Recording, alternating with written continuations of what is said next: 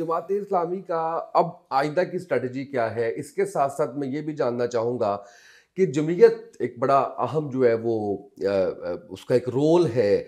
और जमात में आने के लिए जमीयत को कितना आप आप कुशन देते हैं? और एक रुकन होने का इतना मुश्किल क्राइटेरिया क्या एक कई वजह यह भी है कि ज़्यादा लोग उस तरह से जुड़ नहीं पाते इलेक्टिबल्स नहीं आ पाते, कि वो वो वही लोग होंगे जो सही दीन पे कारबंद होंगे?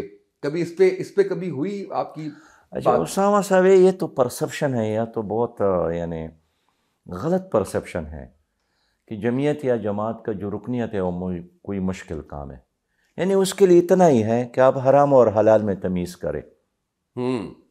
तो एक मुसलमान की हैसियत से तो ये ऐसे भी आपका फ़र्ज़ है बिल्कुल ऐसे आप रुकन ना भी हो बिल्कुल ऐसे ही है दूसरा ये ख्वाहिश है कि मैं चाहता हूँ कि इस मुल्क में इस्लामी निज़ाम हो बिल्कुल और इस निज़ाम के लिए मैं जुमा इस्लामी का साथ दे रहा हूँ तो अगर आप किसी कंपनी में भी काम कर रहे हैं वहाँ डिसिप्लिन का ख्याल तो रखते हैं ना बिल्कुल नहीं रखते हैं। बिल्कुल रखते तो जमात में भी यही है कि आप डिसिप्लिन का ख्याल रखेंगे। इसलिए कोई मुश्किल नहीं है।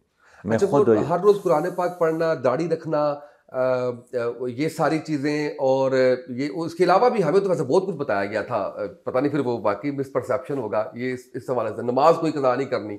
देखिए जो है ना रोज़ाना कुरान करीम पढ़ना तो मैं मैं मानता हूँ ये सारी चीज़ें ऐसी हैं जो मुझे हाँ। बतौर मुसलमान करना चाहिए। हाँ ये, ये करना मेरे पे चाहिए। ये सारी चीज़ें लेकिन मुझे... ऐसा नहीं है। ओके। एक तरजीह देते हैं कि आप रोज़ाना पढ़े। अलबत् नमाज़ जो है वो तो रोज़ाना फ़र्ज़ है ना जी। कोई आदमी ये तो माफ़ नहीं कर सकता है। हम्म। लेकिन आप कितने नवाफिर पढ़ते हैं आपकी मर्ज़ी हैं। आप उम्र पर जाते हैं नहीं जाते हैं ये आपके मर्ज़ी हैं। ज़िक्र हम्म। करते हैं आपकी मर्ज़ी है। लेकिन बेसिक कुछ चीज़ें ऐसी हैं जो एक मुसलमान होने के नाते तुम्हारे ऊपर लाजिम है। तो वो हम तकाजा रखते हैं। इसके साथ जो हमारी इस तंजीम में गैर मुस्लिम हैं हमारे मिनारिटीज़ वो तो नमाज़ नहीं पढ़ते हैं लेकिन फिर भी वो जुमा इस्लामी के साथ चलते हैं।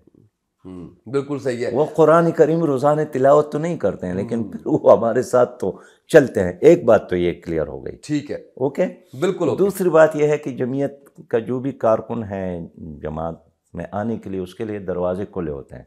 हम्म। बल्कि ये है कि जो वहाँ पर रहा हूँ जमात जमीयत का रुकन तो तीन महीने के अंदर आकर यहाँ भी रुकन बन सकता है। ठीक। आखिरी बात जो स्ट्रेटजी अब जमात ने ये तो कि बहुत अहम सवाल है कि हमारी स्ट्रेटजी क्या है। हमारी स्ट्रेटजी यही है कि एक तो हम किसी साजिश के ज़रिए नहीं आएँगे। अवामी और रायामा के ज़रिए आएँगे। हम्म। एक ये। दूसरा ये कि इन आजमाए हुए सियासी जमातों के साथ हम नहीं जाएँगे। यानी इसलिए कि हमने इतना एक मुश्किल वक़्त बर्दाश्त किया अब तो अच्छे दिन आने वाले हैं। मुश्किल वक़्त यही था कि हम अकेले इलेक्शन में खड़े हो गए हम्म। और 750 हलकों पर हमारे लोग खड़े हो गए अपने निशान और झंडे के साथ। तीसरी स्ट्रेटजी यही है कि हम आवाम को भी बेदार करेंगे और जो इंटेलिजेंशिया है उसको इस इलेक्शन के इस निज़ाम में यानी असलाहत लाने के लिए तैयार करेंगे।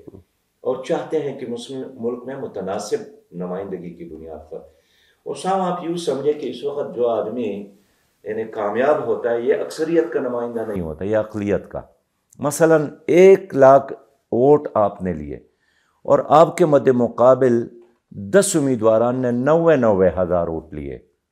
तो ज़ाहिर है ना जी इसका मतलब यह है कि नौ लाख पीछे रह गए और एक लाख वाला आगे निकल गया। आगे निकल गया। हम्म। तो अक्सरियत तो रह गई। इसलिए जमात इस्लामी समझती है कि एक हकीकी जमहूरीत के लिए हम मुतनासिब नुमाइंदगी की तरफ़ जाएँ। इसके लिए मैंने एक वक्त में यानी इमरान ख़ान साहब से भी बात की शहबाज शरीफ साहब से भी बात की दिनों नवाज़ शरीफ नहीं थे आसिफ अली जरदारी साहब से भी बात की। उसूली तौर पर ये हमारे साथ मुतफ़ हैं कि हाँ ये निज़ाम अच्छा है। अलबत् उन्होंने सच्ची बात की ये जो आसिफ अली जरदारी ने उन्होंने कहा कि मैं तो पूछता हूँ कि आपके साथ साठ करोड़ रुपए हैं इलेक्शन डे के लिए।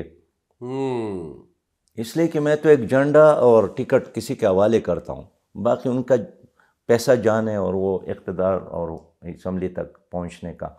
तो मैं उनसे यही श्योरिटी लेता हूँ कि इलेक्शन डे के लिए आपके साथ साठ करोड़ रुपया होने चाहिए। उन्होंने कहा सिराज भाई ये कारकुन कितना भी अच्छा हो लेकिन अगर वो पैसा लगा कर कामयाब नहीं हो सकते तो उसकी अच्छाई मेरी किस काम की? प्रैक्टिकल बात की अपनी तरफ़ प्रैक्टिकल बात की यानी एक कल एक कल्चरल कल्चरल हाँ, वाबस्ता आदमी है तो इसलिए उसने लेकिन बाकी लोगों ने तो तो एक बाकी आवाम को बेदार करना है। हम इसम्बली में नहीं है कौमी इसम्बली में। लेकिन इसम्बली के अंदर अगर नहीं है हम दीवार की इस तरफ़ होंगे। हम दरवाजे के बाहर खड़े होंगे। अवाम की तर्जुमानी करना अवाम के मसाइल पर बात करना चौक और चौराहों में उसामा पहले से ज़्यादा जमात इस्लामी आपको नज़र आएगी। इन ताला ये जो लोग इसम्बली में हैं ये नुमाइंदगी नहीं कर सकेंगे।